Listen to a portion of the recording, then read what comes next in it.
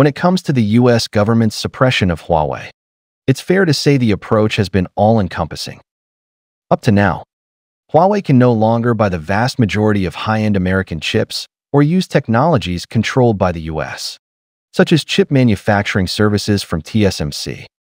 Facing this challenge, Huawei teamed up with SMIC and worked tirelessly. They finally cracked the yield rate for the 7 nanometers chip process. Even better, their improved version now matches the early 5 nanometers standards of TSMC.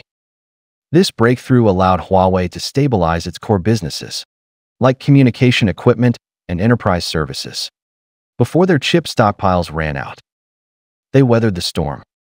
Last year, Huawei's phone business rose from the ashes. With their self-developed Kirin chips and Harmony OS, they made a powerful comeback. In China, their phone sales have surpassed Apple, securing the number two spot. But the relief was short-lived. Harsher sanctions followed.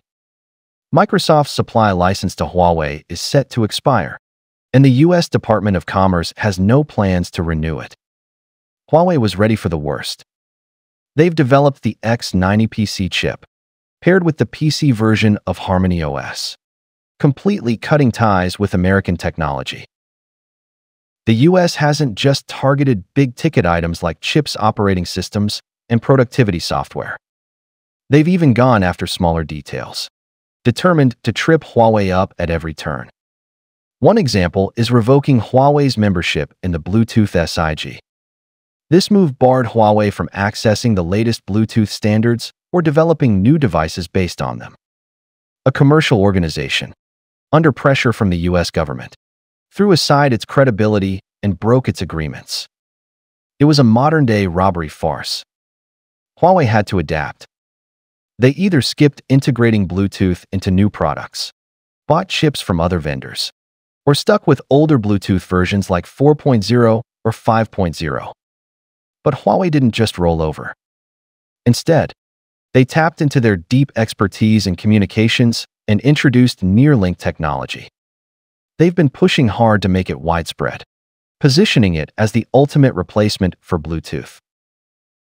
So what is NearLink technology? In simple terms, it's a next-generation wireless short-range communication solution. The NearLink Alliance, led by Huawei, sets its standards. Its features stand out. First, it offers ultra-low latency. NearLink's transmission delay is as low as 20 microseconds, far faster than Bluetooth's 10 milliseconds. Second, it delivers high throughput. Its peak speed hits 12 megabits per second, six times that of Bluetooth, making it ideal for fast data transfers.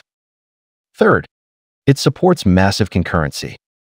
Nearlink can connect up to 4,096 devices at once, dwarfing Bluetooth's limit of 8. It's also highly reliable. Thanks to 5G-inspired tech, its transmission success rate reaches 99.99%. Plus, it's power efficient. In low power mode, it uses just 60% of Bluetooth's energy, perfect for battery-powered gadgets. These strengths make NearLink a clear upgrade over Bluetooth, setting a new bar for short-range communication. Huawei's ability to launch NearLink ties directly to several key strengths. Their robust research and development capabilities are a big factor. Huawei has decades of experience in communications, backed by a world-class engineering team. China's supply chain plays a huge role too. From chip design to module production, Chinese companies provide a full industrial backbone. Then there's the thriving hardware ecosystem. China dominates the global hardware market, especially in fields like cars, drones, and smart homes. Cost advantages seal the deal. Domestic production efficiency and scale keep NearLink devices competitively priced. Let's explore how NearLink shines in real-world scenarios. In smart cars, it's a game changer. It powers features like active noise cancellation, keyless entry, and 360-degree cameras, enhancing the driving experience. China leads the world in electric vehicles and smart driving tech, making it a perfect fit for NearLink. In the drone sector, Chinese firms hold over 80% of the global market. NearLink's low latency and reliability boost remote control and data precision. Smart homes are another win. China's smart speakers locks and lights top global sales. NearLink enables stable power-saving connections across multiple devices. In smart manufacturing, it excels too. Factory robots and sensors need real-time communication. Nearlink's high concurrency and interference resistance meet those demands head-on. Robotics is yet another area. China's service and industrial robots are booming. Nearlink's precise positioning and low power use make them more efficient. These cases show NearLink isn't just advanced.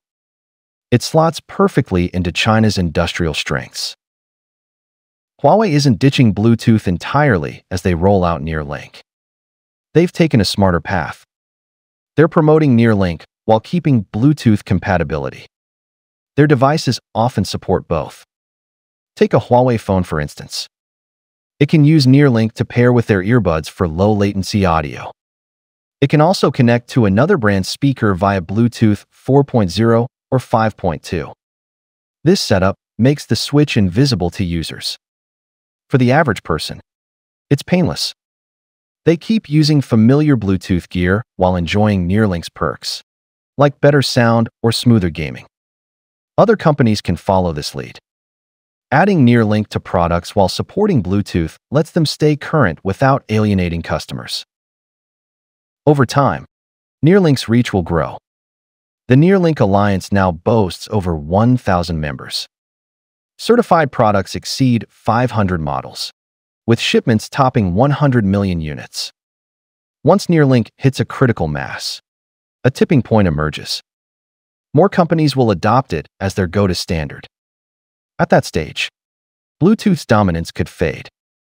It might even step off the historical stage. Huawei's push isn't just about survival. It's about setting a new benchmark for the industry. Companies that break commercial promises will face consequences. Take ASML the Dutch lithography giant. They've joined the US in blocking China's advanced chipmaking. If China breaks through with its own lithography machines, ASML stands to lose the most. Huawei's NearLink saga proves it. Sanctions didn't crush them. They sparked innovation instead. Here's a word for the Americans. Compete fairly and openly. Playing petty tricks to hold others back won't win the day. It'll just make you a laughingstock. Huawei's story shows that tech blockades can't stop a determined player. Nearlink's rise is the evidence. In the future, short-range communication might not belong to Bluetooth. It could belong to NearLink. That future might arrive sooner than we think.